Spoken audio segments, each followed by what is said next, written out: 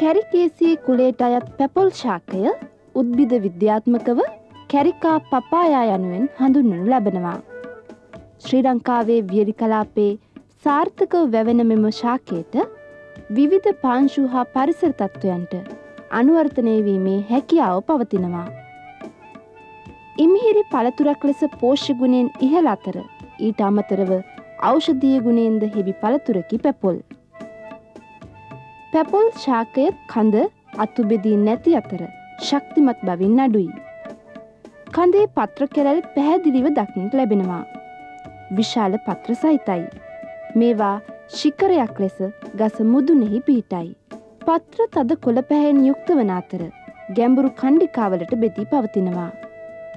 දිගු පත්‍රනටුව ලා පැහැයක් ගන්නවා. ප්‍රධානව පැපොල්ශාක වර්ග තුනක් දක්නට ලැබෙනවා. පූමාංගී පුෂ්ප පමණක් දරණ ශාක ජායංගී පුෂ්ප පමණක් දරණ ශාක හා ද්වීලිංගික පුෂ්පධර්ණ ශාක වශයෙන් මේවා හඳුනාගත හැකි වෙනවා. පූමාන්ගේ පුෂ්පධර්ණ ශාකවල පුෂ්ප විශාල සංඛ්‍යාවක් දැකිය හැකි වන අතර මේවා පුෂ්ප මංජරියක හටගන්නවා. ජායංගි හා ද්වීලිංගික පුෂ්පධර්ණ ශාකවල පමණක් පල හටගනී. ශ්‍රී ලංකාවේ වගා කරන පැපොල් ප්‍රබේද රාශියක් දක්න ලැබෙනවා. මෑතකදී කෘෂිකර්ම දෙපාර්තමේන්තු මගින් හඳුන්වා දුන් රත්න පැපොල් ප්‍රබේදය වියලි හා අතරමැදි කලාපයට නිර්දේශිත උසස් ප්‍රබේදයක්. මෙම ප්‍රබේදයේ කඳෙහි සම පරතරයකින් ගෙඩි හටගන්නවා. ගෙඩියක පිට පොත්ත දැකුම් කළුයි. මදය රතු පැහැයක් ගන්නවා.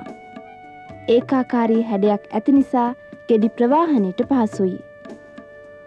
පැපොල් ප්‍රචාරණය සඳහා රෝපණ ද්‍රව්‍ය ලෙස යොදාගන්නේ බීජ. මතු පිටපස් දිරාපත් වූ ගොමපෝර හා වැලි සම අනුපාතයට ගෙන අඟල් හයේ දහයේ ප්‍රමාණයේ පොලිතින් බඳුන්වල බීජ සිටුවා ගන්න. එක බඳුනක බීජ තුනක් හතරක් පමණ සිටුවා ගත යුතු වෙනවා. බීජ පැලවී පත්‍ර අටක් පමණ හටගත් පසු ශේස්ත්‍රයේ සිටුවීමට ගත හැකි. කාබනික ද්‍රව්‍ය මැනවින් අඩංගු සාරවත් ගැඹුරු පසක් වගාවට අවශ්‍ය වෙනවා.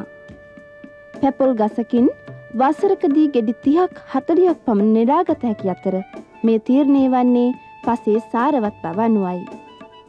පැපොල් වගාවක ආර්ථික ජීවිත කාලය වසර දෙකක් තුනක් පමණ වෙනවා.